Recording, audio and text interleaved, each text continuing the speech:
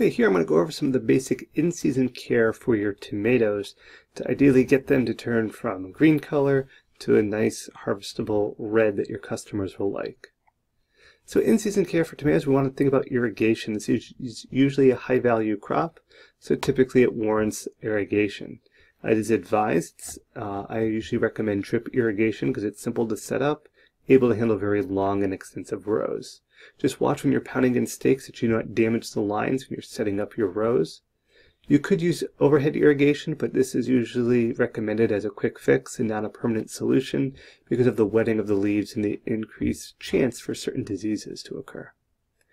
Want to be using weed block to suppress the weeds on your tomato rows? There's many options, uh, but in-row protection may help reduce soil splash, as we see here. Keep those tomatoes nice and well um, positioned. You can see the two drip lines located here under the plastic, eliminating the amount that's lost to evaporation.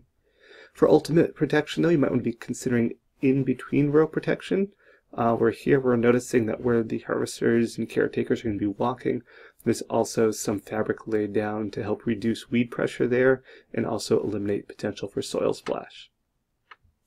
Uh, there's a staking and weaving system. So here we see some stakes. You can tie your tomatoes up um, directly to those or weave those right in between. Uh, basket weaving is advised for field to help support the plants.